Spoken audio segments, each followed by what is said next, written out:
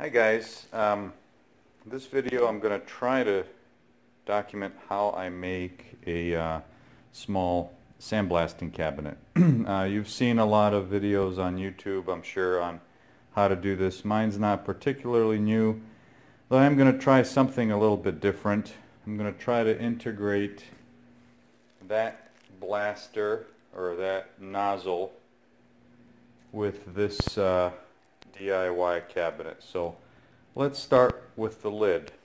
Um, the lid on this cabinet, and the reason I chose this cabinet is because it has uh, these six latches. So that gets really good pressure on the top.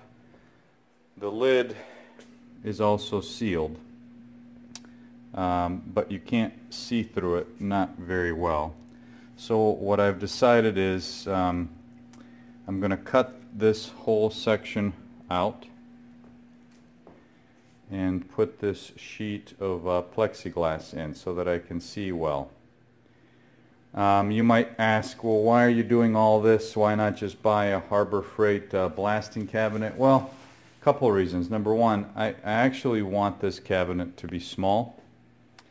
Um, I have limited workspace. Um, I'm not going to be doing a lot. I'm going to be repairing a few small parts, uh, getting them ready for plating, which will be the next project. And when I'm done, I want to be able to easily store uh, the parts and the cabinet up there in the loft. so let's get started. I Drew uh, a line roughly where I want to cut. I want to leave as much of this flange as possible but yet I still have to cut through here. Uh, the material is too thick for me to cut with an X-Acto knife or a, a hard edge. So I'm going to drill some holes in the corners and then I'm going to try to use my jigsaw with a very fine metal cutting blade. And if that doesn't work, uh, plan B will be a small cutoff wheel on the inside because the inside part uh, is I'm not going to save it.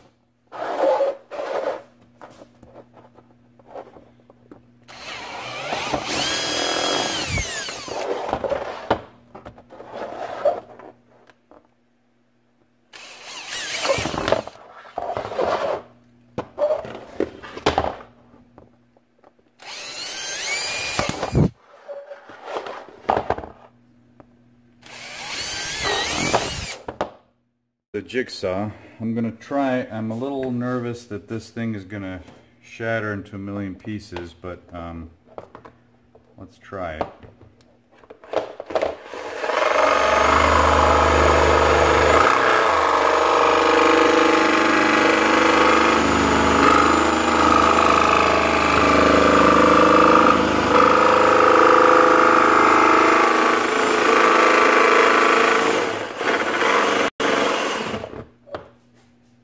That wasn't so bad. Can you guys see? More or less.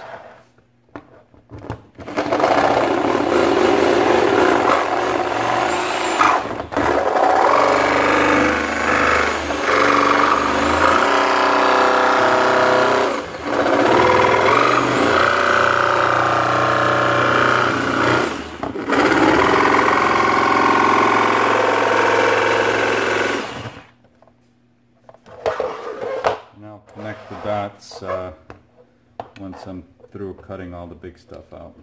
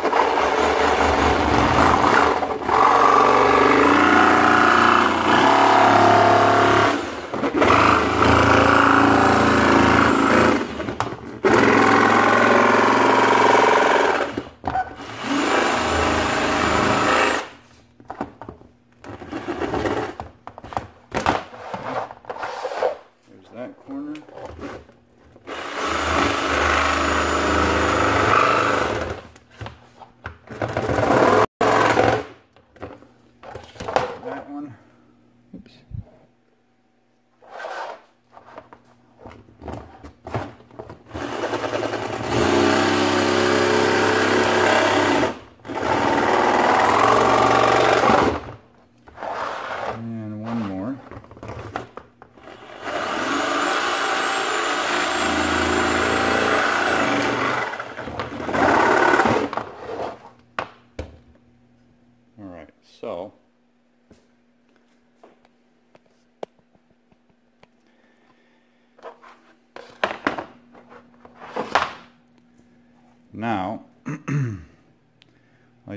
This as a template to um, cut this. Uh, maybe easier to do it upside down. Okay, I'll bring you back. I changed my mind. I'm not going to use uh, the, the leftover cutout piece as the template because I need to be able to save uh, this flange mounting surface. So I'm going to try to make it as tight as I can. Line it up pretty much on the edge and then I will um, I'll round this over. So I like straight lines so yes I was one of those kids that did not draw outside the lines in school so we'll mark this out.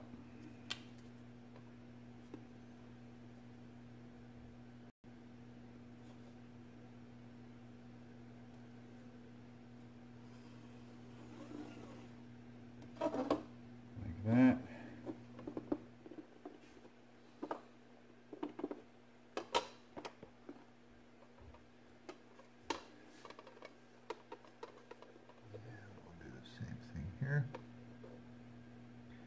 I'm not really sure what to cut the plexiglass with. Um, I'll try with this using the same method with the jigsaw, though I have a feeling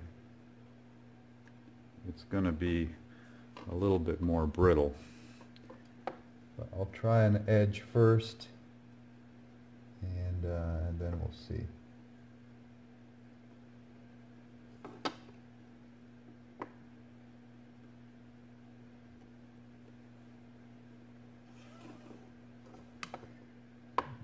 Rounding here. All four corners will end up being rounded.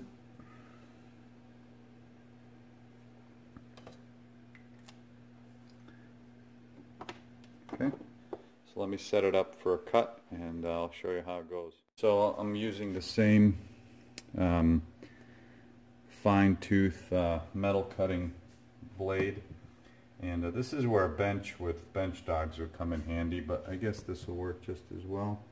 So let's see how it works.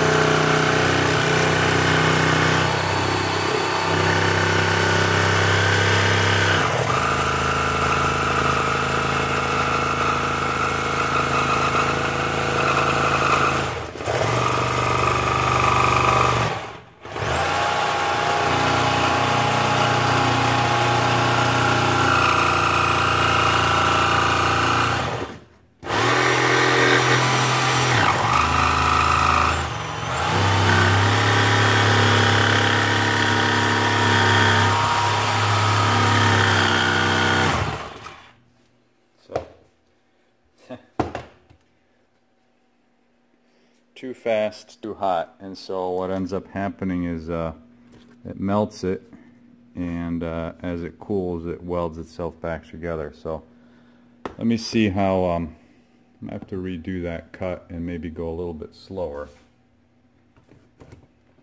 Didn't think about that.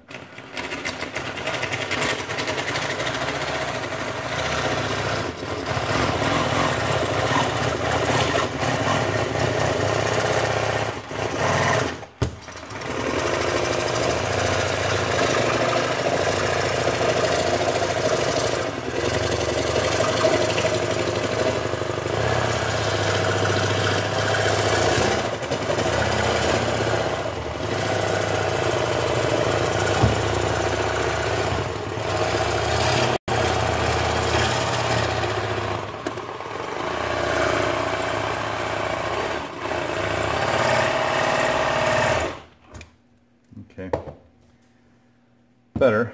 Let me uh, turn this around. And uh, hmm, I'm going to have to do it on this side so that it's supported. Try to get it as close to the edge as possible. Um,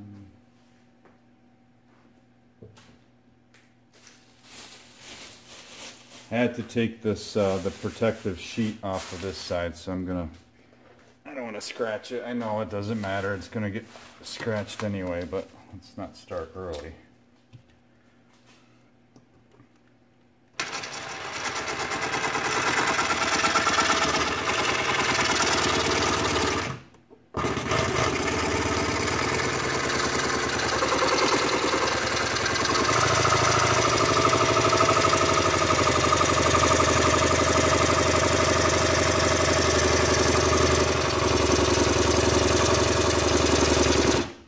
go slower, but I think what I'm going to end up having to do is cut it through and then go over it again.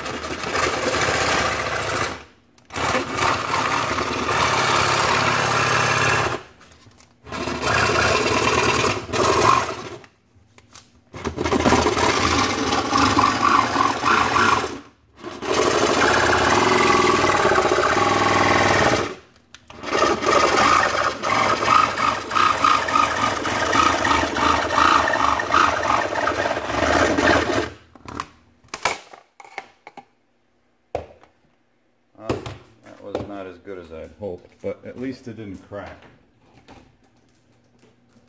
Okay, so um, I'm going to clean up this edge with something and uh, I'll bring you back. I, um, I cleaned up the edges with a sander uh, as much as I could. And um, now let's see how this fits. So this is what I wanted. Tight through the uh, corners. I rounded the corners on the uh, on the sander also. Okay. This finger. There we go. Okay. So now um, what I think I'm going to do is uh, I'm going to drill some holes through this all the way around um, the other added benefit of this plexiglass is that it stiffens things up. We're going to be pumping this thing full of air. We are going to have an exhaust port, a filtered exhaust port, but this whole thing is going to try to, you know, balloon out. So we're going to try as best as we can to seal it up. Now, I don't want to put uh, silicone around here because I have a feeling, I mean, the reality is this is going to be a, a throwaway at the end of the day, at the end of its useful life. But in the case that I do want to replace this, I'm just going to put a little foam or rubber seal around this, uh, around the perimeter, and I'll show you the one that uh, I'm going to use. So here's the seal. Um, it's just whatever the cheapest one was at uh, in the aisle that I happen to be in at Home Depot or Lowe's. But it fits pretty well uh, the width of this flange. So I'm going to try as much as I can to, uh, to fit it up and then we're going to drill holes through it and, um, and squeeze it down between this plexiglass and the flange. So I'm not going to bend it around the, the corner, we're just going to cut it and uh, just butt the two ends together. would help if I use the correct side. Like that.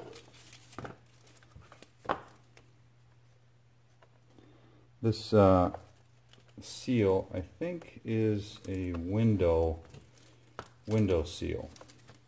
Uh, I don't think it makes a difference.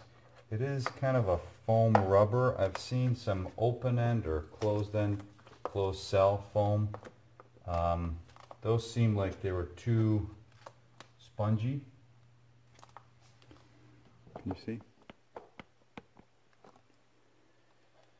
Uh, I would, not spongy, but like they were either too big or too wide or they were just foam and I, I because I was going to squeeze this, I, I, wanted it to be a little bit more robust.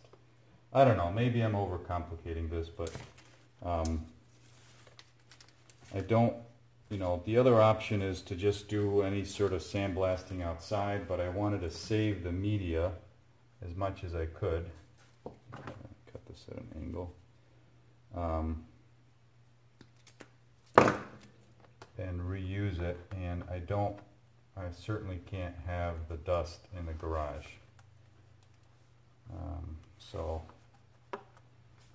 we'll see, you know, it is about discomfort anyway, at least in theory.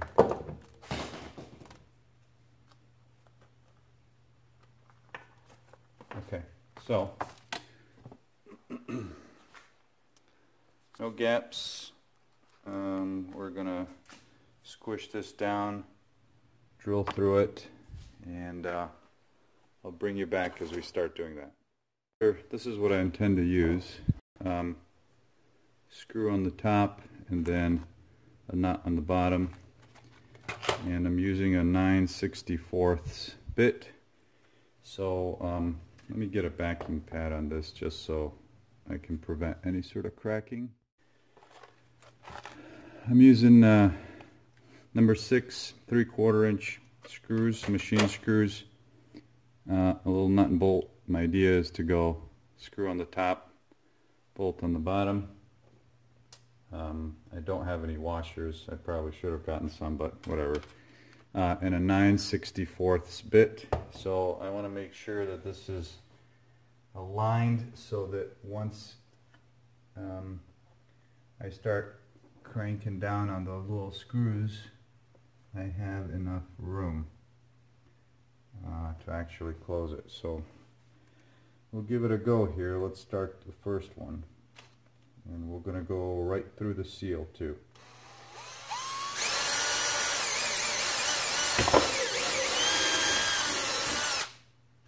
Okay, I'll put that in all the way and then screw it down.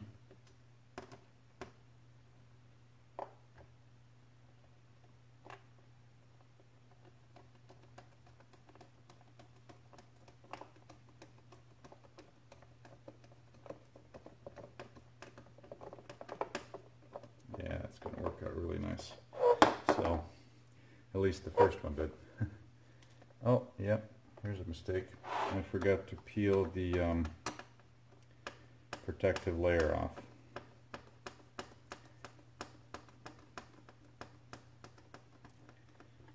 It won't be the only mistake I've made today.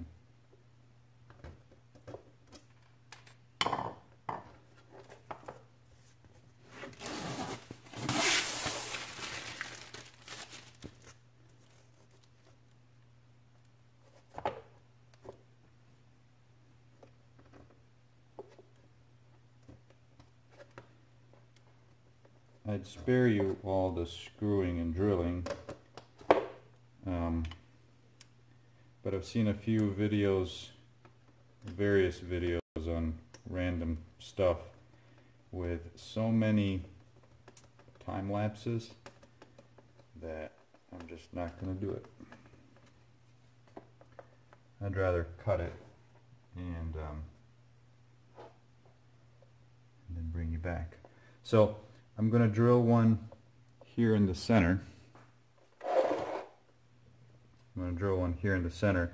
That way I can work my way out. I don't want to do the corners first because I'm afraid there might be a little bit of a wave. So I know, I know, I'm overthinking it, but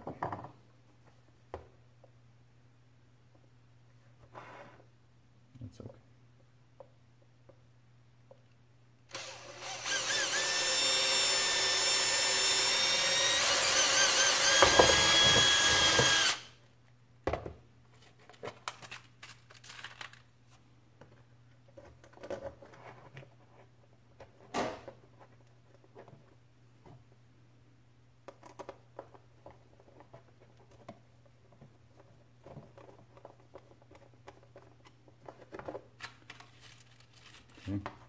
So I'll continue this and bring you back when I've got all of them done. Uh, because it will take a while because I intend to do a lot of these. Why? Why not silicone? Well, maybe it would have been a good idea. Um, certainly easier, but I didn't want to have to wait. So I'll bring you back. Finishing up. I think this will be the last hole for the last fastener.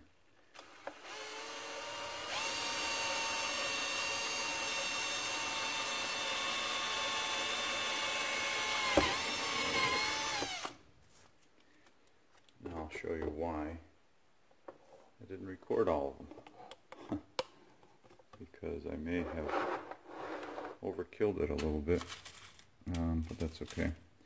Um, so let me finish these two.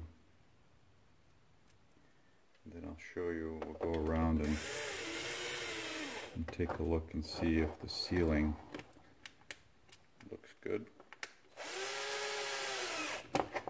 And an observation of what I might do differently or what I might modify still. So hold on a second.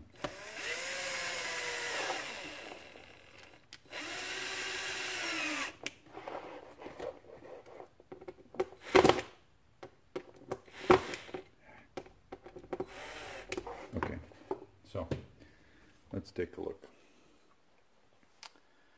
Um, plenty of screws all around.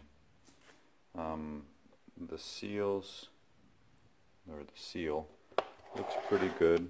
I have uh, good compression in most places where I don't I might add I might add another screw or two but I think for the most part it looks pretty good um, what I might do this is the back side of it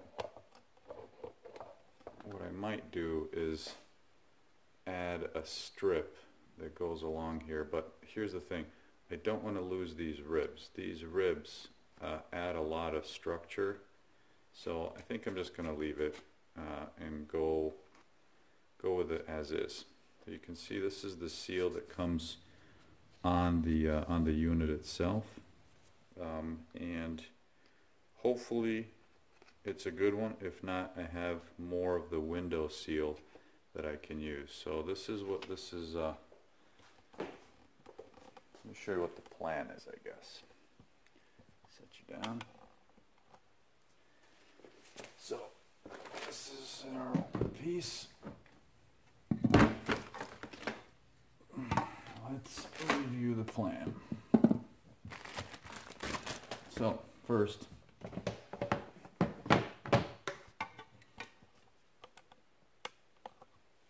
make sure latches Okay, So that's that. That works well, like so. Um, the next step is these are four inch uh, toilet flanges. My hand goes through here relatively well. And uh, I'm going to install them here. And I will fasten them using the same sort of screws. Um, I'm not sure. I may end up sealing around here, uh, but there's a little bit of a spot for a gasket or something. I'm not sure. I don't know if I'm going to use silicone. I really don't want to use silicone. Okay. Um, so one here, one here. Then this flange, it's also a toilet flange, sorry, this flange, um, slightly different type. Um, this one, here's the plan for this one. This one I'm going to put on the inside facing out so that the tube is outside. This allows me at some point in the future, if this, if I need to, um, I can hook up my shop vac here. Um, but what I really want is um, I have some of these, uh, these are called vent filters, I guess. They're relatively, well, they're very cheap. It was like 12 pack for three bucks at Lowe's. And um, you put them on your, your vents. They're relatively high flowing, if you will, but the idea is to do that or that or somehow so that I prevent media from uh, escaping. We have to equalize the pressure in here, right? You can't pressurize this cabinet. Um, and so we're going to try to find the, the, right level of ventilation um, and prevent this from getting pressurized. It's going to be hard enough to see, uh, but hopefully that works. So next step is to cut the armholes and this vent hole and then we'll tackle the, uh, the actual feed system. Decided where the holes are going to be. The center of both of these holes is four inches up and four inches from the side. I'll try to get you a view. Basically, um, that gives about lined up. That gives enough area around to uh, around on the flange to mount into the container. Okay, um, and lastly, I suppose I forgot, but I need to pick a spot for the vent and um, back probably is a good spot. Somewhere around here I'm guessing. My compressors in that corner. So this is going to be done here on the workbench. I'm going to have the compressor line coming this way. So yeah, feed will be somewhere here on the right. And the exhaust, I'll kind of put somewhere around here. Let's see what that would look like.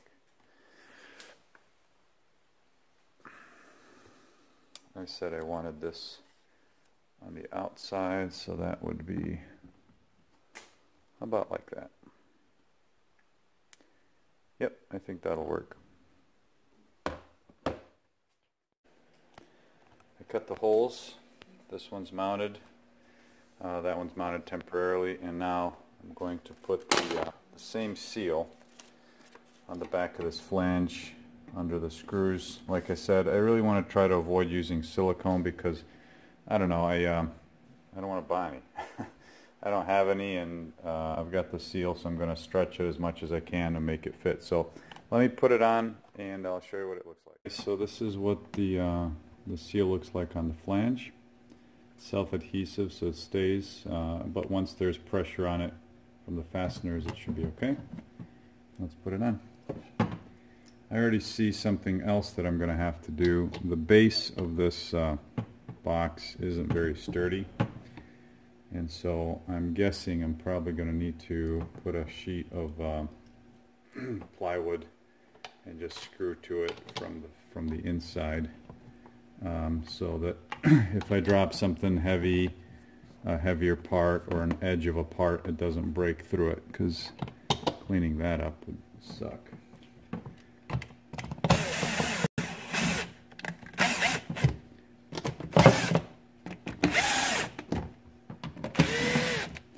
Let me put uh, the, nuts on the back and I'll bring you right back. Um, everything, all the big stuff is mounted, so got the gasket between everything, um, including here. Unfortunately, I cut this hole a little bit big, but I still have enough of a seal, so that's okay. So the next thing is um, I'm going to get the siphon system out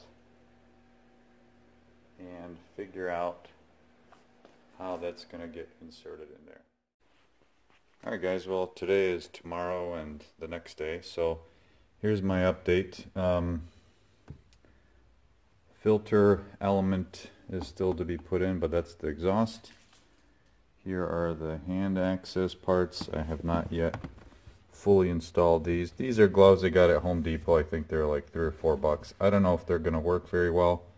Um, might be a little short. Um, I might get a couple more inches of hand access out of it. We'll see. This is how I plumb the air line. Um, I wanted it to be nice and tight, so I had, these are all fittings I had, so if I didn't have these, I probably would not have purchased them. Um, but I thought this would be a good way to do it. So I've got a quick connect here so that I can take the hose off if I need to. It goes through like so, and then this section will connect to my air line. Okay, so that's relatively simple. Uh, as far as hand access, this is how much I have. I can hold here and move this around. Um, I can't really articulate my hand too far forward. Um, this joint that I had, this 90 degree swivel definitely helps things uh, so that the hose doesn't move around. I think that's a, a good thing. So the last thing to do is to make another make another hole for the sand feed hose. The sand feed hose is this one and I had a couple of these um, one inch PVC fittings so here's what I'm thinking. I think I'm gonna drill a hole here. And um, basically sandwich um, the case in there, feed this through, and stuff this, stuff that full of a filter element so that um, so that nothing comes out. So I'm going to do that and uh, wrap it up, so to speak, and uh, fill this up. I may end up putting, I didn't really think about it too much, but now that I think about it, um, I'm going to be spraying with my right hand and I should have put that here so that I'm not spraying so much uh, directly onto the uh, onto the filter side. So, but anyway, we'll try it out, see how it goes. Uh, I'll cut this short here. I'm gonna put it all together, and uh, you guys will see the first test run next. So, as far as I'm concerned, she's all done but the tryout. Uh, let me show you what this whole thing looks like. So this is a Ziploc container. Got it at Lowe's. Uh, there's what that is. There's the air fitting and then there's the feed line for the sand. Plexiglass uh, view on the top. This is a Harbor Freight, um, I think they call it a portable sandblasting kit. There's that. Um, the reason I wanted this one versus the individual ones with the hopper attached is that I, uh, I may want to do a little bit of a longer stint I tried the little ones, you know, the ones that have uh, the ones that have a knot or a the hopper up at the top, and you get about I don't know. I was able to get about a minute of use and then had to stop and refill, so I think that's super annoying. But maybe it was my air pressure or something. I don't know. Um, so here's in summary, these are two um, fittings for a toilet and then the third one back here. I simply used uh, tape and taped some uh, heavy gloves that I had on both sides. Um, I get enough of a reach, not too much. I could use a longer glove, but I wouldn't really get that much more um, reach because this opening here, my forearm doesn't fit all the way. You know, I can get up, not quite to my elbow, which is enough. This, uh, this fitting here serves as a vent. Remember, we're going to be pressurizing this compartment so air has to escape. Um, I just stuffed um, this stuff um, in there like so. And on this surface here I tested it to 50 psi and had good airflow. Um, you could definitely tell that the um, that the whole compartment gets pressurized because looking at it kind of this way, the lid would, you know, rise a little bit, or at least it would bow slightly, but not tremendously. So um, here, let's take another look. I used a one inch PVC fitting just to pass uh, pass this through. This is the only part that I don't like so far. I might try to find a solution that's a quick connect because if I want to remove this I don't want to be pulling this hose in and out. The hose is kind of sealed. I just stuffed some of the filter material in here. Air passes through, uh, which is fine, but ideally uh, not ideal. Uh, the quick connect fitting works great. So this is the air feed line from my compressor. And then on the other side, let me turn you around here.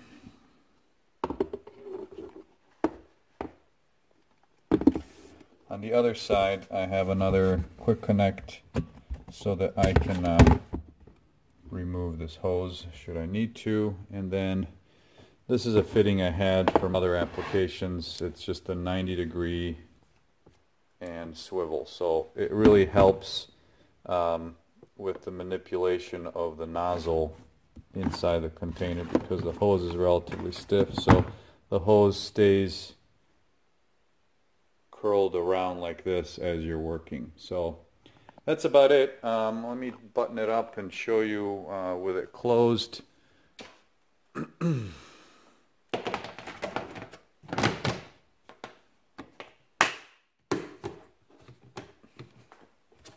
then um, in the next video, because this one's already gone long, in the next video I will show you um, how it works that works quite well.